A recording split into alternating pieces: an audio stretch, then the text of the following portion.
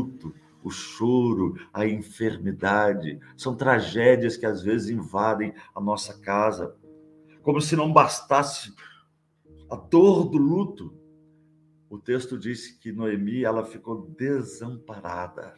Ela ficou desamparada, ainda mais naquela época, a necessidade, a importância de homens que trabalhassem, uma, uma mulher viúva era desamparada, ela corria muitos riscos naqueles dias.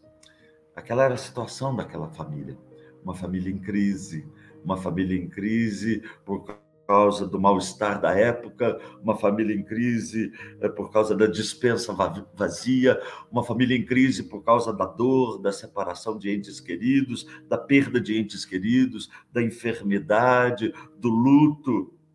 Eu conheço famílias que se destruturaram por causa do luto. O texto diz que Noemi perdeu o marido e os dois filhos numa terra estranha. Não é fácil. Imaginamos a luta daquela mulher, o drama pela, pelo qual ela passou. Não é verdade, irmãos? Talvez não sejam as causas da crise que você está enfrentando, mas de alguma forma esses três tipos de situações resumem todas as causas que geram crise na nossa família. Mas eu não estou aqui para falar sobre, sobre crise em si, mas sobre a oportunidade que nós podemos encontrar, mesmo passando pelos momentos difíceis da nossa vida. E o segundo destaque que eu faço aqui do texto é a ação soberana de Deus na história daquela família.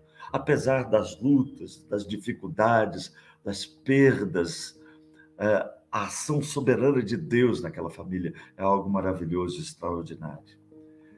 E o primeiro destaque que eu faço dessa ação soberana de Deus é o fato de que o texto diz no verso 6 que o Senhor se lembrou do seu povo.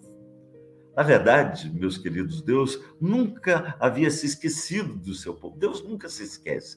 A Bíblia nos diz que é muito difícil que isso aconteça, mas pode ser que uma mãe se esqueça do seu filho, mas o Senhor jamais se esquece do seu povo.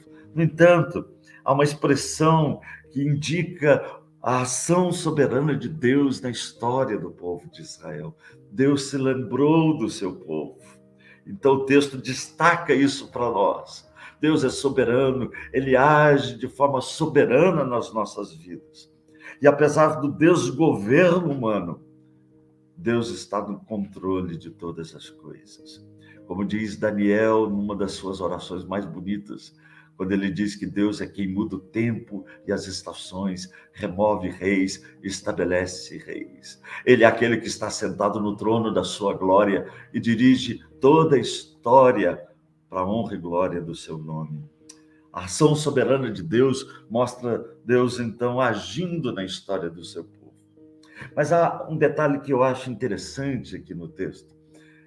Dentro dessa ação soberana de Deus, ao que eu chamo de ouvido atento. O texto destaca a ação soberana de Deus, mas diz que Noemi ouviu, e eu gosto disso.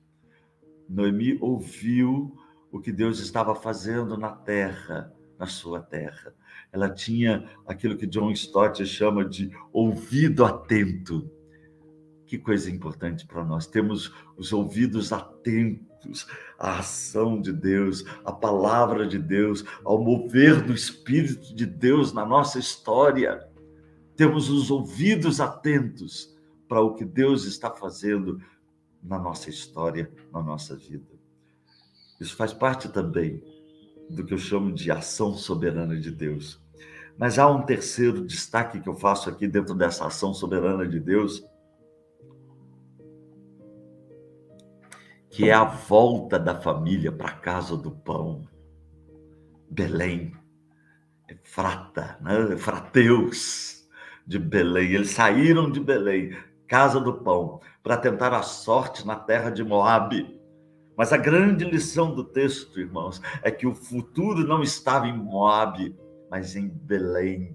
O futuro não estava em Moabe, mas em Belém. O verdadeiro pão da vida estava por vir e ele viria de Belém. Esse texto nos aponta para algo muito além da própria história.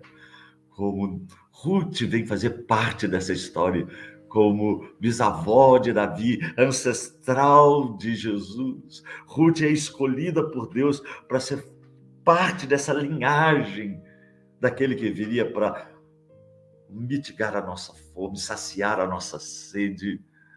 O futuro está em Belém, o futuro não é Moabe.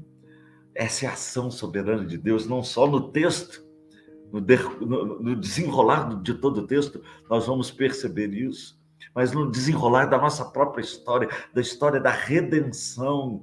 Aparentemente havia uma crise descontrolada naquela família. Não, Deus está agindo na história, Deus está agindo naquela família.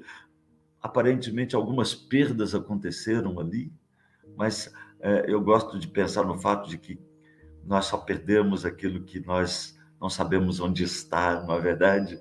Então nós nunca perdemos os nossos entes queridos quando nós estamos em Cristo e quando eles estão em Cristo, quando eles fazem parte do povo de Deus, porque nós nunca perdemos alguém onde nós sabemos onde essa pessoa está. E aqueles que partem dessa vida estão com Cristo, estão com Jesus, estão no reino de Deus, estão seguros.